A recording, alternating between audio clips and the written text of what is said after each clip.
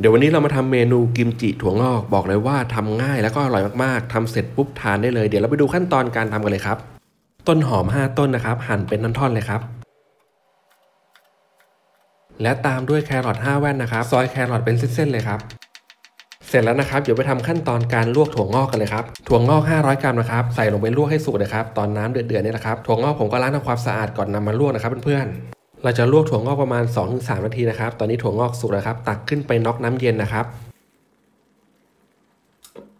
น็อกน้ำเย็นให้คลายความร้อนนะครับ เสร็จแล้วก็ตักถั่วงอกของเราไปสะเด็ดน้ำนะครับ แล้วก็นำไปทำกิมจิกันเลยครับเพื่อน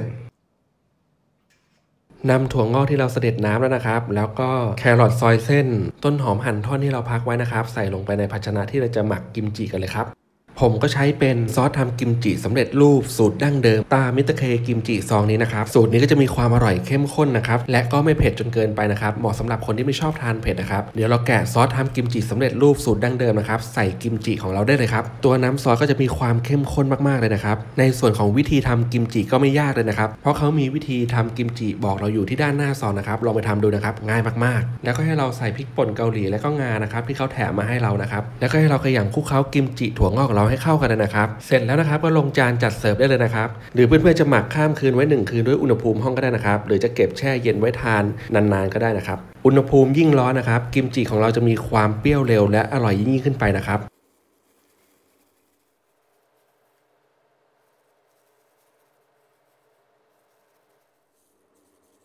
เสร็จแล้วนะครับ กิมจิถั่วงอกสูตรขวดสนาม สีสันสวยงามหน้าตาน่ารับทานมากเลยนะครับ บอกได้ว่ากิมจิของเรามีรสชาติที่อร่อยเข้มข้นมากๆเลยนะครับ แถมยังทำง่ายอีกต่างหาก เมนูนี้ถ้าเพื่อนๆชอบก็สามารถนำไปทำทานกันได้ในครอบครัวนะครับ วันนี้ผมต้องขอตัวลาไปก่อนนะครับ วันนี้สวัสดีครับ สุดยอดมากครับ เมนูนี้ผ่านไม่ได้เลยนะครับ ถ้าจะทำกิมจิแบบโฆษณาซอสทำกิมจิสำเร็จรูปสูตรดั้งเดิมมิสเตอร์เคกิมจิซองนี้นะครับหาซื้อได้ที่ TikTok Shop นะครับเดี๋ยวผมจะติดตะกร้าไว้ให้นะครับจิ้มเลยอร่อยมาก